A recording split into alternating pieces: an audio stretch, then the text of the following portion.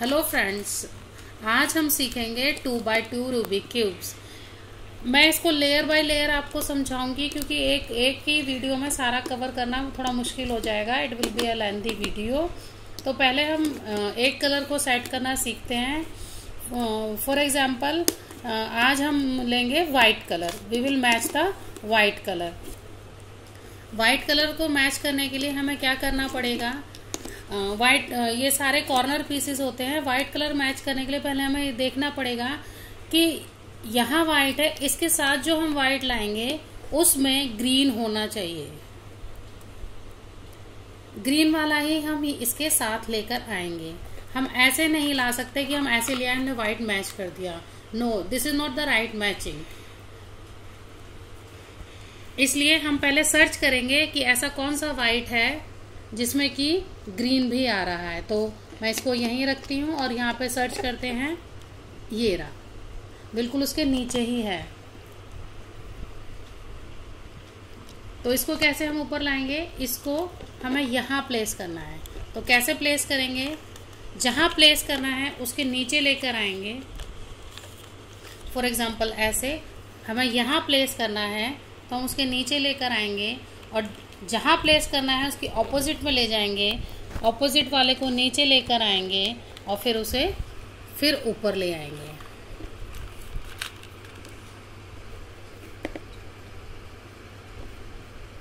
ये देखिए, हमारा मैच हो गया।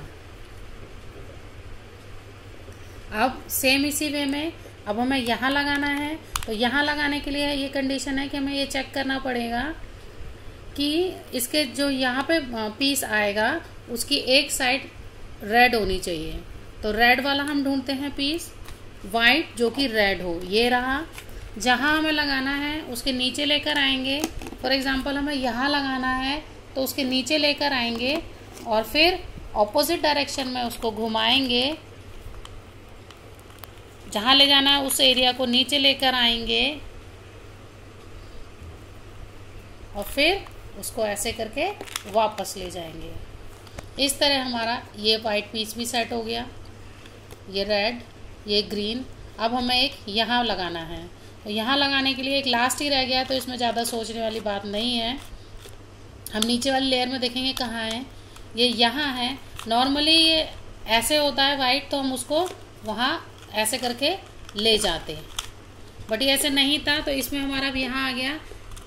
पोजीशन वही होनी चाहिए जहाँ ले जाना है, उसके नीचे सामने आपको दिखना चाहिए। तो इसके लिए क्या करेंगे, उसको किसी भी तरह नीचे लेकर आएँगे। उसको वापस पीस को सेट कर दिया जो हमारा रेड वाला था। ये अब यहाँ आ गया। जहाँ लगाना है, उसके नीचे लेकर आएँगे वाइट को। आपको फेस करता हुआ ये होना चाहिए। जहाँ लगाना है, उसकी ऑपोजिट डायरेक्शन में ले जाना है। नीचे लाना है। बैक मैच हो गया, फिर ऊपर ले जाएँगे। इस तरह से हमारी एक लेयर कंप्लीट हो गई। Blue green